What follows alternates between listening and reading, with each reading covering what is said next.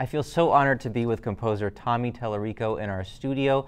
And I gotta say, this program, Video Games Live, is so entertaining. But before we talk about it, I'd like to learn a little bit more about you.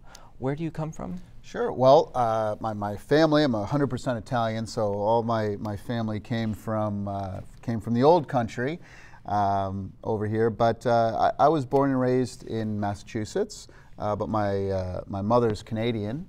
So when her grandparents came over here from Italy, uh, her parents came over from Italy, they were in Canada. And uh, so I'm dual citizen, so US and Canada.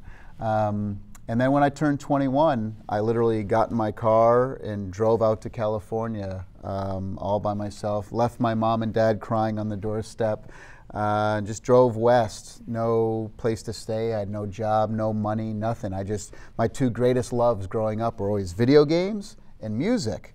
Uh, but I never thought to ever put the two together because you know there was no such thing as a video game composer growing up in the 70s or 80s.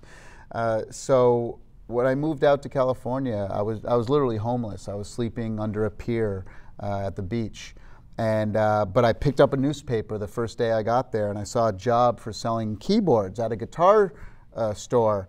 So I went in there and I gave me the job. They say, you start tomorrow. And the first day I walked in, I, I had like three t-shirts that I brought with me to California. One of them being a video game t-shirt. Now this is 1990, so there weren't a lot of video game shirts like there are now. You find them all over the place, but it was a rare thing.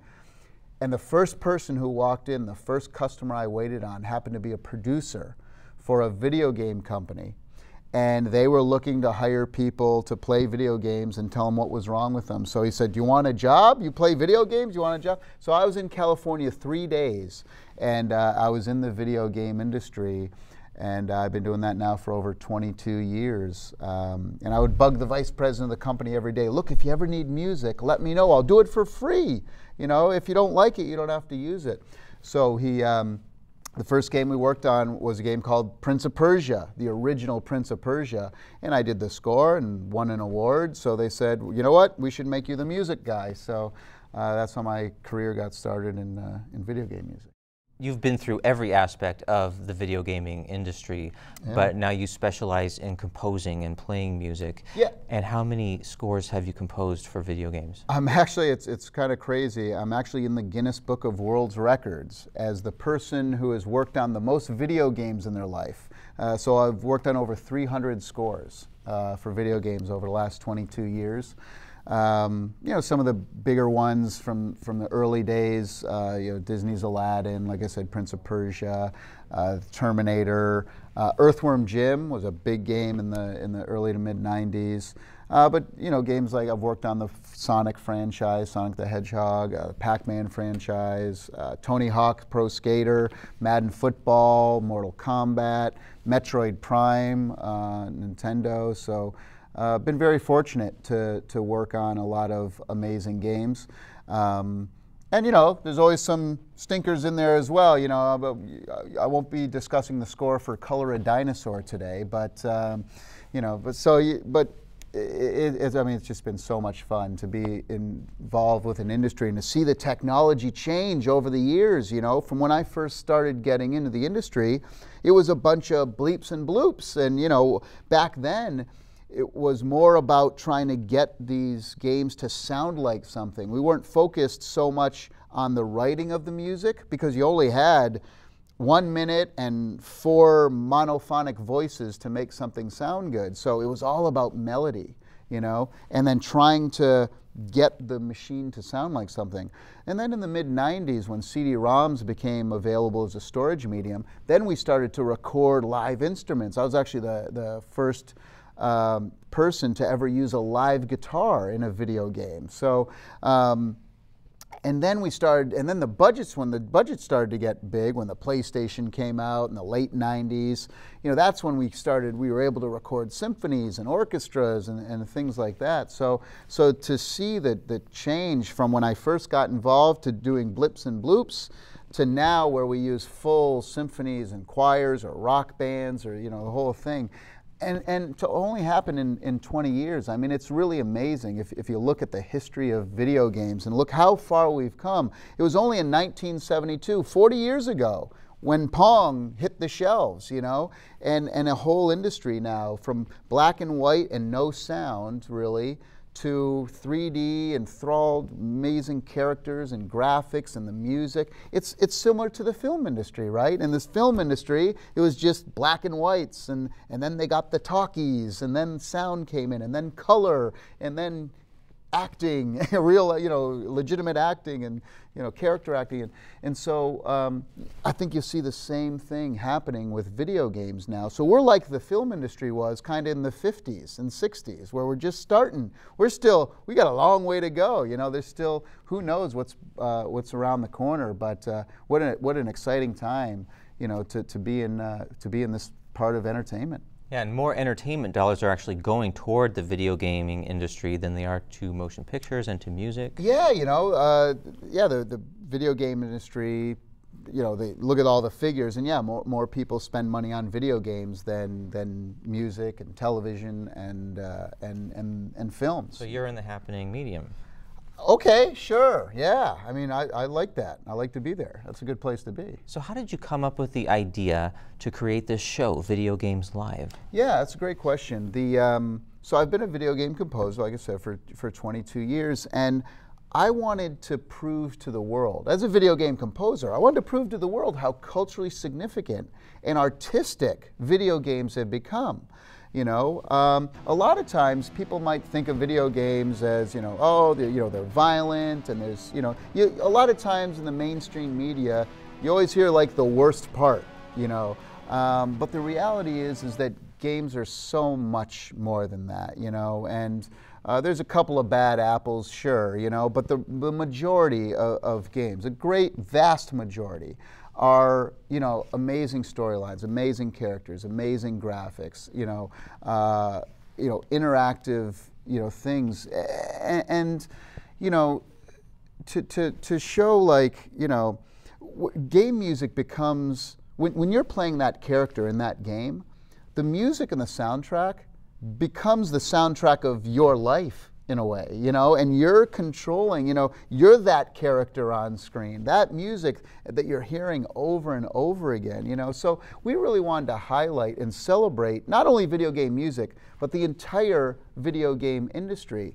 But on the flip side of that, so not only are we turning people on who've never played a video game and they see our show and they go, oh my gosh, this is incredible. I never knew video game music was this incredible. I never knew that the graphics and the characters. I get it now. Now I know why my kids are so much into that. So not only are we bringing that to the table, but also what a fantastic way to help usher in a whole new generation of young people to come out and appreciate the arts and culture of, of a symphony. You know, most people who come to our show are seeing a symphony for the very first time how wonderful is this, you know? And, uh, you know, because I've always said that if Beethoven were alive today, he'd be a video game composer. I'm, I'm absolutely uh, uh, convinced of it. I mean, he wouldn't have been a film composer because, you know, people talk over film music. You know, he would, he would have wanted people to focus uh, on the music. And, but, you know, it's interesting because, you know, hundreds of years ago, a bunch of people sat around a table and said, how can we bring people into the symphony? How can we do this? And somebody said, I got an idea. Why don't we dress people up in costumes? Why don't we create these elaborate sets on stage? Let's tell a story through the vocals. And opera was created, right? And so, you know, in, in some regards, maybe, you know, shows like Video Games Live can be considered kind of the opera of the 21st century because what we're doing is we're using all of the things that my generation grew up on. I'm, I'm 44 years old, and we grew up on video games and rock and roll lighting and video screens and interaction and using computers in our daily lives and this and that. And so, what I've done is kind of taken all those things that we're used to seeing and combining it with you know, a traditional kind of, you know, sound and, and, and, and symphony, um, and kind of mixing the two together. So on one end it's technology, on the other end it's, it's classical music wrapped in a, in a, in a different, uh, different lining. So what's the reaction of the audience, in particular the gamers? Mm-hmm. What kind of reactions are you getting from them? They absolutely freak out. It, it's, it's fantastic because uh, you know, I mean, I when I go on stage, I encourage the audience to yell and cl- clap and cheer and holler whenever they feel like. You know, I don't want this to be considered, oh, it's a traditional symphony. Do we, does everyone sit there and when do we clap? Is, should we clap now? I don't want to be disrespectful. We're, you know, I like to describe Video Games Live as having all of the power and emotion of a symphony orchestra, but combined with the energy and excitement of a rock concert, mixed together with all the cutting edge visuals and interactivity and technology and fun that video games provide. So, um, you know, that, that's the thing because, you know, video games it's not just about the music, right? A video game, what makes up a video game? It's the fun factor, it's the graphics, it's the music, it's the interactivity. And I wanted to bring all of that to a live performance. So, you know, even you know, the PBS special that, that we have here, you know, really focuses on the music a, a lot, because uh, that's what works the best for this medium. But when you go to a live show, there's you know, th- there's a lot of fun and a lot of interactive elements with the crowd and a lot of, you know, it, it's hard to capture that feeling of three, four, five thousand people all in a room together remembering their childhood or being brought back or being in a room where you know their their hobby is being legitimized here on stage by a symphony. And there's this magic that happens and this kind of community and celebration that all happens. And and and a parent turning to a to a child saying see frogger up there? I used to play that that's the games I used to play when I was growing up. And, and, a, and a kid looking at their mom going, You played video games? You know? So um, it, you see the generations come together as well. And even for the people who've never played a video game, they come to the show and they're the ones who are most blown away. They're the ones who are most surprised. Because, you know, people our age, we know the music to Halo and Warcraft and Final Fantasy is fantastic. We know it, we play it. But for a parent, they might think of video games from when they were growing up, and they might think, oh, video game music is just bleep, bloop, bloop, bleep, bloop, bleep, bloop. So what are they going to have a symphony on stage going bleep, bloop, bloop, bleep, you know? Um, and then they, they hear this music. And the reality is, as games composers, we all draw inspiration from the masters. So you'll hear very kind of Beethoven-esque and Mozart or Carl Orff's Carmina Burana or, you know, uh, you know, and, and, film composers as well. We all grew up loving John Williams and the Jerry Goldsmiths, and, and, and now we're putting our own, we're taking that and putting our own spin on it as well, you know. But we all draw inspiration from the greats. How can you not, you know?